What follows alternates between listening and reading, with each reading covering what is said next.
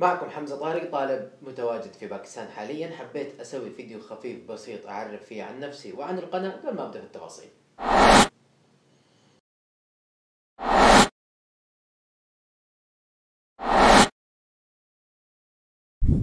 OK السلام عليكم ورحمة الله وبركاته. معكم أخوكم حمزة طارق طالب جامعي متواجد حاليا في باكستان. آه، صار لي تقريبا أربعة إلى خمس سنوات. آه، طبعا مواليد السعودية. أتممت دراستي الأولية المتوسطة والثانوي في المملكة بعد ذلك انتقلت إلى باكستان آه، من أجل إتمام الدراسة الجامعية.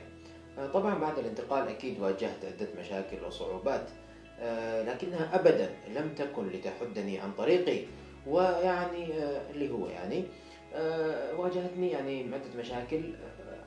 أهم مشكلتين واجهتني هي اللغة والمجتمع.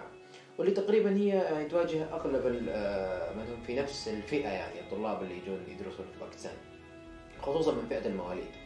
آه، بالنسبة لمشكلة آه، اللغة والمجتمع هي يعني مكملة بعضها البعض. يعني أنت إذا فهمت اللغة هتفهم المجتمع. ما فهمت المجتمع يعني أهم شيء إنها مترابطة ومتشابكة يعني.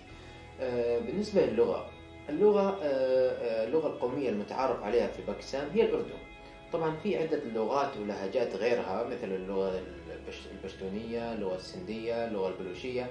آه، بس يعني جميعها تعتبر لغات محلية ولا تعتبر لغة قومية للبلاد خصوصا أن اللغة المستعملة في الجامعات وفي يعني في الأماكن العمل أو المهنية يعني هي الأردو فيفضل للي للطلاب أو لمن هم في مثلي يعني في مثل الفئة إنهم يبدأوا يتعلموا اللغة أفضل لهم.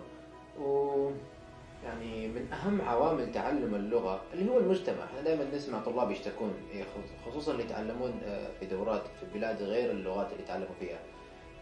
يقول لك ما عندنا البيئة ما عندنا المجتمع عشان نمارس ونطبق اللي نتعلمه. فأنت ربنا مديك الفرصة عشان تتعلم اللغة من المجتمع. ما يحتاج لا دورات ولا يحتاج كورسات ولا أي شيء. خش في المجتمع أمشي أعمل لك أصحاب دردش معهم وإن شاء الله ست شهور وأنت وضعك تمام. آه بالنسبة للمشكلة الثانية آه المجتمع. المجتمع آه فعلا المجتمع يختلف وهذا شيء طبيعي لكل مجتمع فيه يعني عاداته وتقاليده وطبائعه وخصائصه. وطبعا يعني أنت المفروض تكون من النوع المتقبل يعني للتغير. ما تتذمر ليش هذا كذا ليش هذا كذا. لا تقارن خلاص. يعني هذا مجتمع غير عن المجتمع اللي أنت كنت فيه. ولكل مجتمع آه، أنا متفهم إنه في حاجات سلبية آه، في حاجات آه، يعني صعبة إن الواحد يتغير فيها بسرعة.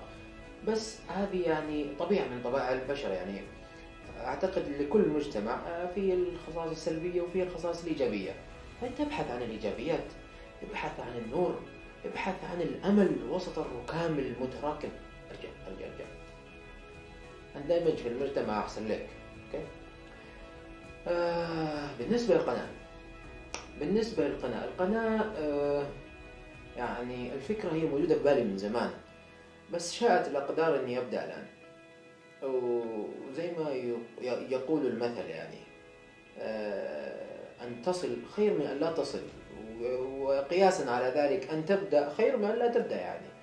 المهم يعني في أماكن كثيرة في باكستان صراحة سياحية وتاريخية ما زرتها فإن شاء الله نزورها سوا. غيرها إن شاء الله أستمر يعني المشكلة آه، المشكلة الكبيرة هي مشكلة الاستمرارية. فإن شاء الله بدعمكم وتحفيزكم لي وتشجيعكم لي إن شاء الله أكون قادر وإني أعطي المزيد والمزيد. آه، لا تبخلوا علي بتعليقاتكم آرائكم. إلى هنا حبيت أعطيكم يعني نبذة خفيفة إن شاء الله تكونوا أخذتوا ولو يعني فكرة بسيطة. أشوفكم في الفيديوهات القادمة. كان معكم حمزة. إلى اللقاء.